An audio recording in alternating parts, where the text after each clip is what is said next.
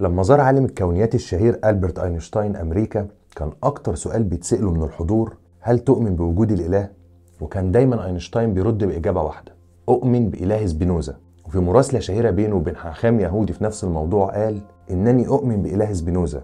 سبينوزا هو أعظم فلاسفة العصر الحديث. الفيلسوف اللي بيتكلم عنه أينشتاين هو فيلسوف يهودي عاش قبل أينشتاين ب 300 سنة في هولندا ومات في الأربعينات من عمره. وما نشرش في حياته كلها إلا كتاب واحد بس وكمان من غير ما يكتب اسمه عليه. لما مات سبينوزا اللي بيتكلم عنه أينشتاين أهم عقل علمي في القرن العشرين كتب واحد من رجال الدين المسيحي عبارة علشان تتحط على قبره. هنا يرقد سبينوزا أبصقوا على قبري.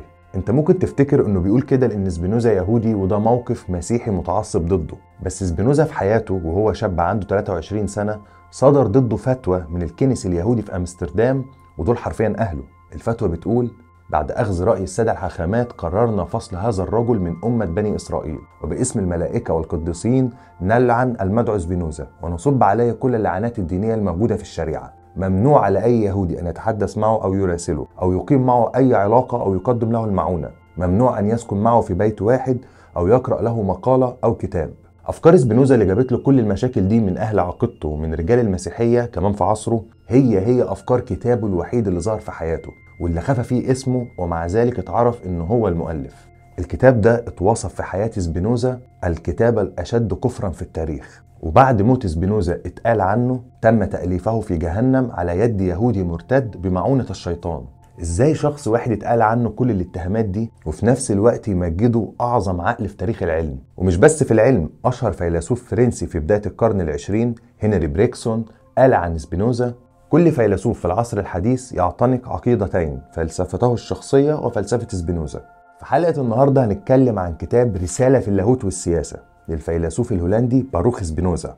الكتاب اللي هيغير طريقة تفكير البشر للأبد في الدين واللي هيقدم فيه أسلوب فلسفي جديد لقراءة النصوص الدينية وخصوصا قصص الأنبياء والمعجزات.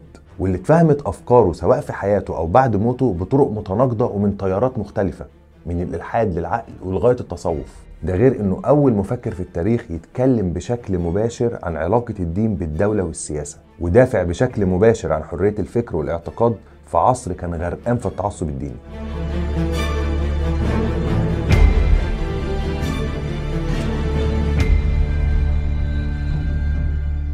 في قصة مشهورة عن سبينوزا مهم نحكيها في البداية. لما زادت الإشاعات حواليه جات له الست اللي كان مأجر عندها أوضته واللي كانت شايفاه شخص هادي وبسيط مش الشيطان يعني زي ما الكل بيحكي عنه. فده دخلها في حيرة وخلاها تروح تسأله ما رأيك في ديني؟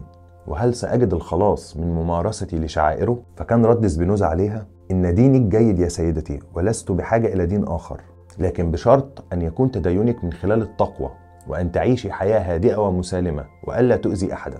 القصة دي مهمة قبل ما نتكلم عن سبينوزا وكتابه لأنها بتظهر العكس من كل الكلام اللي توجه ضده وشفناه في أول الحلقة. سبينوزا كان شايف إن دور الدين في حياة المؤمن لازم يكون أخلاقي حياة بسيطة ومسالمة بعيدا عن الأذى أو زي ما قال التدين من خلال التقوى. بس من ناحية تانية الأفكار البسيطة دي اللي قالها للست العجوزة في من وراها أفكار خطيرة جدا بس مش ضد الدين نفسه كأخلاق وتقوى لكن ضد رجال الدين وسيطرتهم على حياة البشر. خلينا نبدأ الأول بحياته. اتولد باروخ سبينوزا في مدينة أمستردام في هولندا سنة 1632 وهو ابن العيلة يهودية بترجع أصولها للبرتغال. والعائلات اليهودية هجرت في الأساس من البرتغال بسبب محاكم التفتيش اللي كانت بتضطهد المسلمين واليهود خصوصا بعد ما أسقط الأسبان الحكم الإسلامي في الأندلس. وسبب سفر اليهود لهولندا واستقرارهم فيها إنها كانت في الزمن ده أكتر بلد أوروبي فيه تسامح ديني. لو قارناها بباقي الدول الأوروبية في العصور الوسطى. وأهل أمستردام سمحوا لليهود إنهم يبنوا مدارس خاصة بيهم وكنائس للعبادة. أبو سبينوزا كان تاجر شاطر لكنه كان يهودي متعصب فربى ابنه من صغره على التبحر في علوم الدين اليهودي. والمعرفة دي خصوصا فادت سبينوزا جدا في ثقافته بعد كده رغم إن هدف أبوه من التربية الدينية إنه يطلع على الأقل حاخام يهودي. بس وهو عنده تسع سنين دخل المدرسة اليهودية ودرس اللغة العبرية وتعمق جدا في دراسة التلمود. والتلمود هو أهم كتاب بعد التوراة بالنسبة لليهودية. مكانته كده زي صحيح البخاري عند المسلمين السنة. الفرق بس في الحجم لأن التلمود كتاب ضخم جدا وفيه تفاصيل ملهاش نهاية عن شريعة اليهود. من ألغاز حياة سبينوزا إننا بنتفاجئ سنة 1656 وهو عنده حوالي 24 سنة إنه بيصدر ضده من الكنس اليهودي فتوى طرده من جماعة اليهود. اللي حكيناه في بداية الحلقة. وفتوى الطرد في اليهودية زي بالظبط حكم الردة في الإسلام والهرطقة في المسيحية. أسوأ شيء ممكن يحصل لشخص يهودي. بس الغريبة إن سبينوزا في الفترة دي كان لسه ما كتبش أي حاجة. وأغلب الناس فاكرة إنه تهاجم من اليهود بسبب كتبه وده شيء مش منطقي لأنه كان لسه ما كتبش أي حاجة. لكن بالتحفير في تاريخ الفترة دي بنلاقي إن سبينوزا بعد ما خلص دراسته الدينية قال تعليقات معينة عن التلمود والشريعة اليهودية. ومن كلام بعض المقربين عنه بعد كده بنكتشف إن سبب إدانته هو رأيه في قضية خلود الروح بعد الموت. وهصدمك أكتر لما أقول لك إن سبينوزا كان بيقول رأي أرحم أصلا من فكرة اليهودية نفسها عن الروح. اليهودية رغم إنها من الديانات الثلاثه الشهيرة ومشتركة مع المسيحية والإسلام في حاجات كتيرة جدا لكن فكرة خلود الروح مش من أصول العقيدة اليهودية. يعني في اسفار موسى الخمسة في التوراة مفيش أي ذكر لخلود الروح أو بعثها بعد الموت. وده الجزء اللي فيه أساس الشريعة اليهودية. بس الثواب والعقاب في اليهودية في الأساس بيكون في النسل.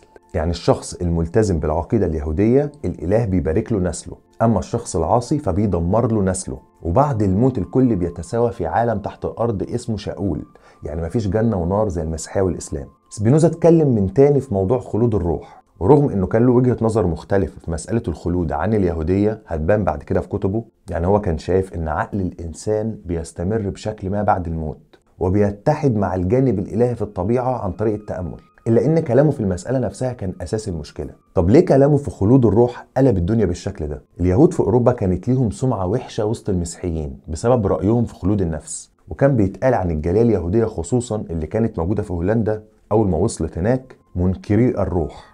لكن مع مرور الوقت اندمج اليهود مع المجتمع المسيحي وبقوا يقولوا عادي بعقيدة خلود الروح. رغم إنهم عارفين خصوصا رجال الدين إنها مش من أصول العقيدة. فلما اتكلم سبينوزا من تاني في القضية دي وطلعها على السطح خاف اليهود إن ده يقلب عليهم الدنيا لأنهم في النهاية شايفين أوروبا كلها في صراعات دينية ده المسيحيين نفسهم بيتخانقوا وبيدبحوا في بعض. فهيعملوا فينا إيه كيهود لو قعدنا نقول أفكار بيرفضوها؟ إحنا ما صدقنا لقينا مكان نقعد فيه. وأهم حاجة أصلا في العقيدة اليهودية هي مصلحة الجماعة اليهودية ككل اللي شافوا إن سبينوزا بيهددها بآرائه دي. طبعا رجال الدين اليهودي الحاخامات مش هيقولوا القصص دي كلها للناس لكن هيقولوا ده كافر ومرتد وخارج عن أمة بني إسرائيل. يعني لو ركزت في نص الفتوى اللي قلناها في أول الحلقة مش هتلاقي فيها حاجة غير هجوم عليه بس. الأحداث دي لفتت انتباه سبينوزا من صغره لنقطة هتبقى هي الأساس اللي هيبني عليها كتابه الخطير رسالة في اللاهوت والسياسة. إن أخطر حاجة بتهدد المجتمع هي الخوف اللي بيلعب عليه رجال الدين عشان يفضلوا مسيطرين على المجتمع. كمان هو خد باله إن غياب حرية الاعتقاد وحرية التعبير في المجتمع هو اللي بيوصل الناس للعنف ده سواء اليهود ضد بعضهم أو خوف اليهود من اضطهاد المسيحيين ليهم. ورغم إن ممكن تكون قضية الخلاف في أساسها سياسية أو اجتماعية لكن رجال الدين بيحولوها لقضية دينية عشان يكسبوا دعم الجمهور البسيط من غير أي تفكير. سبينوزا دفع ثمن كبير من فتوى الطرد والتكفير اللي صدرت ضده. أول حاجة عيلته قطعته واتحرم من الميراث بتاعه وفضل فترة قصيرة منبوذ وسطهم. لغاية ما هاجمه متعصب يهودي في الشارع بخنجر عشان يقتله. وده كان شيء متوقع. والحظ سبينوزا إنه كان لابس بالطو تقيل حماه من الضربة دي إنها تقتله. وفضل سبينوزا طول حياته محتفظ بيه عشان يفكروا دايما بمحاولة الاغتيال. الموقف ده اللي قرب سبينوزا من الموت خلاه يحسم موقفه طوال حياته ويوهب حياته للفكر والحقيقة وخصوصا تحرير البشر من تحكم وتعصب رجال الدين. في سنة 1660 هاجر وساب أهله. لقرية تانية في هولندا اسمها رينسبرج لأنها كانت أكتر مكان في أوروبا كان فيه تسامح ديني يقدر يعيش فيه بهدوء. هو كان لوحده تماما فبدأ يتعلم حرفة يعيش عليها وهي صقل زجاج العدسات علشان يقدر يكمل حياته. ومع الوقت بدأ يتجمع حواليه مجموعة من المثقفين اللي انبهروا بذكائه واتكونت حلقة ثقافية بتجمعه دايما معاهم. سبينوزا في الفترة دي من حياته كان مهتم جدا بالفلسفة الجديدة اللي بدأها ديكارت مؤسس الفلسفة الحديثة. واللي وضح فيها إن منهج الفكر الصحيح إننا نخضع كل شيء للشك عشان نوصل للحقيقة بعيدا عن اللي بيقوله المجتمع. كنا عملنا حلقة عن ديكارت ممكن ترجع لها بس ديكارت في النهاية طبق منهجه على قضايا معينة ورفض الكلام في العقيدة خصوصا المسيحية واليهودية. وكمان رفض إنه يتكلم في السياسة وأنظمة الحكم بمنهجه المعروف عن الشك. سبينوزا بقى هو اللي قام بالخطوة دي. وفي سنة 1663 كتب مجموعة ملاحظات فلسفية على ديكارت كنوع من التمهيد اللي هيتكلم فيه بعدين. ملاحظات سبينوزا عملت له شهرة واسعة أكبر بين أصدقائه اللي كانوا متجمعين حواليه. وفي الوقت ده سافر من تاني لمدينة لاهاي عاصمة هولندا وقتها. وبدأ يخش في مراسلات مهمة مع علماء وسياسيين أوروبيين معروفين. كان من ضمنهم يوهان دي فيت حاكم هولندا وزعيم الحزب الليبرالي. جمعته بسبينوزا علاقة شخصية قوية وكان معجب بأفكاره جدا فقرر يصرف له مبلغ شهري عشان يقدر يركز أكتر في أبحاثه. في الوقت ده سبينوزا كان شغال على كتاب فلسفي اسمه الأخلاق. وكتاب الأخلاق هو من أهم الكتب في تاريخ الفلسفة كلها. وهو كتاب مهم من ناحية قيمته الفكرية ومن ناحية تأثيره لأن سبينوزا قدم فيه فكرة مختلفة عن طبيعة الإله وعلاقته بالعالم. هتغير طريقة تفكير الأوروبيين في المسألة دي. بس في الوقت اللي كان شغال فيه على كتاب الأخلاق حصل صراع سياسي قوي في هولندا بين الحزب الليبرالي اللي بيقوده صديقه يوهان دي فيت وحزب المحافظين اللي كان ضد سياسة يوهان اللي بتدافع عن استقلال الدولة والتجارة من سيطرة الكنيسة وشايفين إنها خطر على المسيحية. سبينوزا رفض إنه يتفرج على المشهد ده من بعيد واشتغل على كتابه الشهير رسالة في اللاهوت والسياسة. والكتاب في الأساس كان إهداء ودعم لصديقه يوهان ضد ضغط حزب المحافظين المتعصب دينيا. الكتاب اتطبع سنة 1670 من غير ما يذكر اسم الكاتب بس الناس كلها كانت عارفة إن سبينوزا هو المؤلف. وبعد نشر الكتاب حصل شيء صادم ومش متوقع. صديقه اتقتل في الشارع هو وأخوه من مجموعة متعصبة دينيا وكان هو الحاكم. الموقف ده دمر سبينوزا نفسيا. ولما عرف الخبر وقتها كان هينزل الشارع عشان يدافع عن صديقه لولا أن أصدقائه منعوه. في نفس الوقت كان في شخص فرنسي اسمه جان ستوبا داخل في الدائرة المقربة لسبينوزا بس هو في الحقيقة كان جاسوس فرنسي وبعت رسالة مخصوصة لفرنسا بتقول عن سبينوزا إنه شخص شهير وعالم يتبعه عدد كبير من المعجبين. لم يتمسك بدين اليهود ولم يعتنق المسيحية وكتابه مقالة في اللاهوت والسياسة يهدف إلى محو كل الطوائف وزرع بذرة الإلحاد والتحرر. إنه شخص خطير جدا. وبسبب النوع ده من الكلام والإشاعات انتشرت الأخبار عن سبينوزا في هولندا وفرنسا وألمانيا بسرعة كبيرة جدا. وبقت سمعته ثابتة سبينوزا الملحد وسبينوزا الله أخلاقي. رغم إن أغلب اللي كانوا بيشوهوا سمعته ما قرأوش له حاجة من الأساس. الأحداث دي كلها اغتيال صديقه وتشويه سمعته خلته منعزل وزاهد أكتر بكتير من الأول وقرر يشتغل بس على كتابه الأخلاق. وحتى لما جاله عرض مغري جدا من أمير ألماني إنه يدرس في الجامعة الألمانية رفض وفضل حياة الزهد. رغم إنهم وعدوه بأكبر مساحة ممكنة للحرية في محاضراته. فقال جملته المشهورة ليس للحرية الفلسفية حدود فإما أن نفكر بكل حرية وإما أن نفكر ابدا. وفي سنة 1675 سافر لأمستردام علشان يطبع كتاب الأخلاق. لكن وصلت له أخبار إن تحالف رجال الدين مقررين يصدروا فتوى بشكل مباشر بأنه ملحد وإنهم هيقتلوه. فسحب كتابه من المطبعة والكتاب ده اتطبع بعد وفاته عن طريق أصدقائه المقربين. وفي سنة 1677 مات وهو عنده 45 سنة بمرض السل الرئوي اللي عاش حياته كلها بيعاني منه. واليوم اللي مات فيه كان لوحده لأن كل الناس كانت في الكنيسة لأنه كان يوم صلاة وحادثة موته كانت مؤلمة جدا لدرجة إن أول شخص لاحظ وفاته سرقه وهرب من البيت.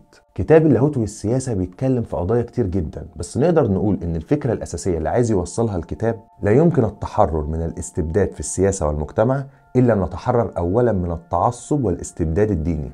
في مقدمة الكتاب بيقول سبينوزا حرية الفكر والتفلسف لا تمثل خطرا على الإيمان والتقوى ولا على السلام في الدولة بل إن القضاء على حرية الفكر يؤدي إلى ضياع السلام والإيمان معا.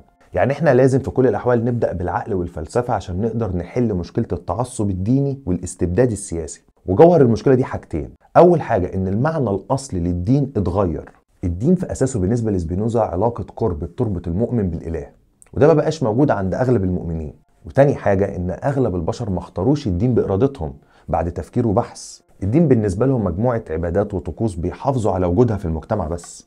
ومفيش أي اهتمام حقيقي بانعكاس ده على أخلاق الفرد في حياته.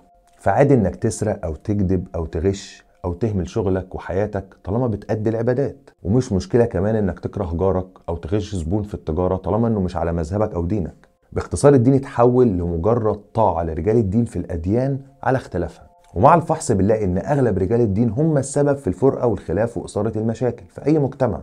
واستغلوا مظهرهم المتدين عشان يفضلوا مسيطرين. وطبعا حولوا التفكير واستعمال العقل الأكبر عدو للمؤمن. وده سبب كرههم الحقيقي للفلسفة خصوصا. بعد كده بيقول سبينوزا في الكتاب من هذا العقل ينبغي أن ننطلق لكي نؤسس مجتمعا آخر أكثر حرية وإنسانية. وعلشان نحقق الهدف ده لازم نقضي على سيطرة رجال الدين الأول. اللي هتفتح المجال عشان نقضي على الاستبداد السياسي. ومن هنا بيسأل إسبينوزا سؤال مهم.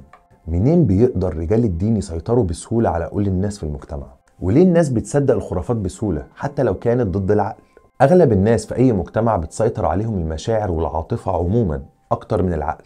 وأقوى مشاعر بتخلي الإنسان يتخلى عن عقله هي الخوف والأمل. فحتى لو كان الإنسان بطبعه بيميل للتفكير بشكل منطقي ما بيقدرش بسهولة يتحرر من مشاعر الخوف والأمل.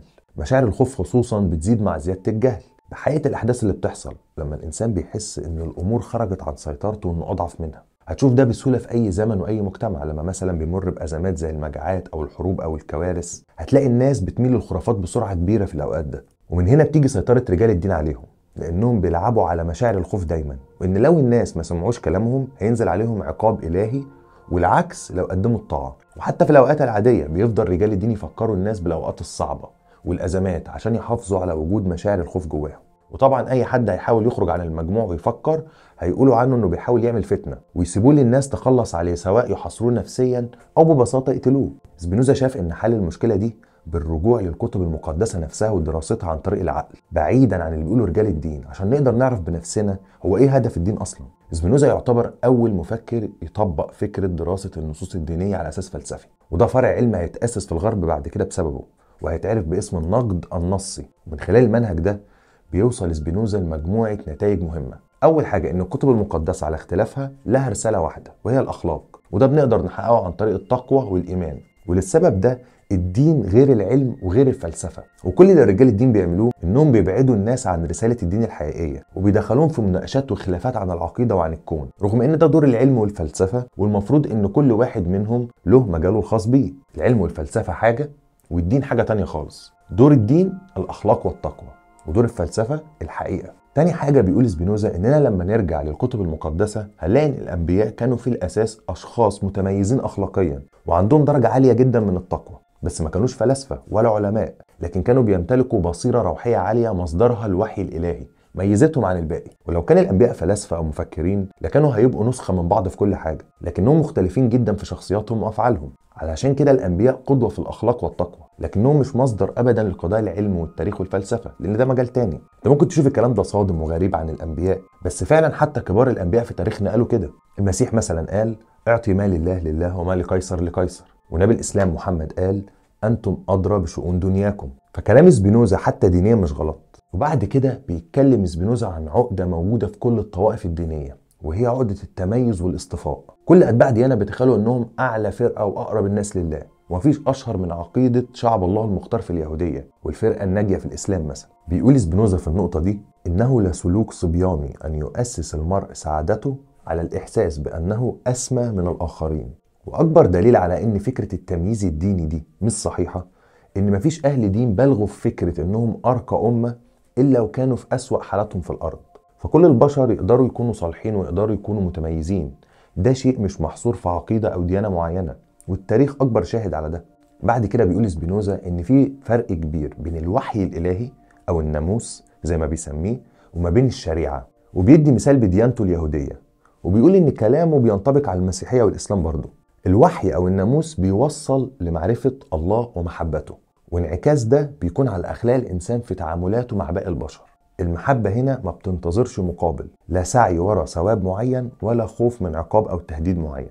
أما الشريعة فدي مجموعة القوانين اللي بتخص مجتمع معين في زمن معين بهدف تنظيمه مش أكتر. يعني هي شبه دستور غرضه استقرار المجتمع والشريعة مش مرتبطة بالتقوى والإيمان لكنها مرتبطة بالسياسة في الأساس. لأنها مجموعة قوانين بتخص مجتمع معين في وقت معين وهدفها زي ما قلنا الاستقرار السياسي للمجتمع ده. بعد كده بيتكلم سبينوزا عن المعجزات ودي أكتر جزء سبب هجوم عليه وقتها. سبينوزا قال رأي كان جديد وصادم في مسألة المعجزات زي معجزات المسيح ومعجزات أنبياء التوراة. أول حاجة بيقول سبينوزا إن مصدرنا للمعجزات هي الكتب المقدسة. فلازم نشوف طبيعة اللغة اللي الكتب المقدسة اتكتبت بيها. وبعدها بيقول إن لغة الكتب المقدسة موجهة في الأساس لخيال وعاطفة الناس علشان تحفز مشاعرهم وتزود إحساسهم بالتقوى والطاعة لكن مش هدفها أبدا إنها تحكي أحداث تاريخية بدقة ولا توضح الأسباب العلمية للطبيعة لأن ده مش هيأثر على مشاعر ولا حماس المؤمنين. بيقول في الكتاب إذا وصف الكتاب المقدس سقوط إمبراطورية أو هلاك أمة ما بنفس أسلوب المؤرخين العلمي فلن يهز في العوام شعرة. كل المعجزات اللي موجودة في الكتب المقدسة لها تفسيرات علمية في الطبيعة عادي. كل ما في الموضوع إنها اتحكت بطريقة بتظهر قدرة الله. لكن رجال الدين قدموها على إنها تدخل من الله في الطبيعة وخلل بيحصل في نظامها عكس الطبيعي والمعتاد. الكلام ده بالنسبة لسبينوسا كان غلط. لأنه بيتعامل وبيفترض إن الطبيعة شيء خارج عن إرادة الله وإن الله بيتدخل بس في أوقات معينة فيها رغم إن مفيش أي حدث بيحصل في الطبيعة خارج عن إرادة الله. لأن قوانين الطبيعة هي هي إرادة الله. وكل الموضوع إننا مش عارفين بس قوانين الطبيعة وطبيعة الأحداث اللي بنسميها معجزات فبنتخيلها شيء خارق. بيقول سبينوزا في الكتاب الله كما هو في جميع العصور التي نعرفها والتي نجهلها وقوانين الطبيعة ثابتة إلى حد لا يمكن معه إضافة شيء إليها أو استثناء شيء منها. والقول بخوارق الطبيعة أو المعجزات هو أشرس أعداء المعرفة الصحيحة والفضيلة الحقة. وفي النهاية بيلخص سبينوزا مجمل فكرته وبيقول إن أي كتاب مقدس وأي دين في من وراه رسالة كونية واحدة. تحب الرب بقلبك وعقلك وتحب جارك كنفسك. إن الكلام ده كله عن الكتب المقدسة بيرجع سبينوزا من تاني لنقطة سيطرة الرجال الدين على السياسة. وبيقول إن أي مجتمع فيه سيطرة لرجال الدين ومنع حرية الفكر والاعتقاد لازم يكون مجتمع مستبد ومحكوم بسلطة استبدادية. حرية الرأي في الدين ضرورة علشان الدولة تحافظ على استقرارها الداخلي. مش العكس زي ما رجال الدين دايما بيوهموا رجال السياسة والحكام. لأن حرية الفكر معناها إن الرأي العام هيكون حر في التقييم والكلام وعلى الاساس ده هيرصد من غير ما حد يأثر عليه كل اللي بيحصل في المجتمع خصوصا مشاكله الداخلية. لكن لو مفيش حرية فكر الرأي العام هيكون غير معروف وهتتحكم فيه المخاوف دايما. الدولة هتبقى في وادي والناس هتبقى في وادي تاني ومفيش تواصل ما بينهم. ومع الوقت بيظهر نتيجة للحالة دي جماعات سرية هتحارب الدولة من تحت لتحت فيروح الأمن والاستقرار من المجتمع. ويفضل الفوضى والخوف مسيطرين. فيدخل المجتمع في صراعات سياسية ودينية بلا نهاية. الدولة عند سبينوزا لازم تكون هي الضمان لحرية الفرد في أفكاره وما تتدخلش أبدا فيها لأن ده حق طبيعي بيتولد بيه كل إنسان. وتدخل الدولة بيكون فقط في حالة الأفعال الجريمة أو الاعتداء على حرية الآخرين. وده بيكون بس عن طريق القانون. إزاي نقرأ الكتاب بالعربي؟ كتاب رسالة في اللاهوت والسياسة له ترجمة عربية قام بيها واحد من أكبر أساتذة الفلسفة في مصر وهو الدكتور حسن حنفي وهي موجودة كمان مجانا على النت على موقع هنداوي. ولو مهتم تعرف أكتر عن كتب لغاية التاريخ اعمل لايك وفعل الجرس واشترك في القناة عشان يوصلك كل جديد.